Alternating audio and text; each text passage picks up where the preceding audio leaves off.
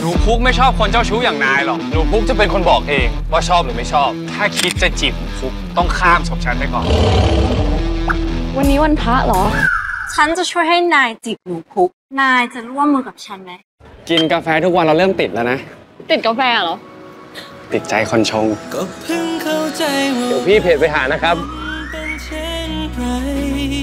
ทำไมคนเจ้าชู้รู้นะว่ายิ้มอยู่ แอนนี่จะไม่ยอมปล่อยมือจากพี่จัดเด็ดขาด และแอนนี่จะทำให้พี่จักรรักแอนนี่ให้ได้ แล้วมันไม่สามารถเปลี่ยนจากเพื่อน มาเป็นแฟนได้เลยเหรอ ขอโทษนะแจ็คเราเองก็ไม่อยากเสียเพื่อนไปเหมือนกันผู้เคยได้ยินไหม ความรักชดวนะงทุใจกเทสิ่งวพรหมใจพิสุทธิ์เริ่ม 12 พฤษภาคมนี้ ดูทีวีกด 33 ดูมือถือกด3 plus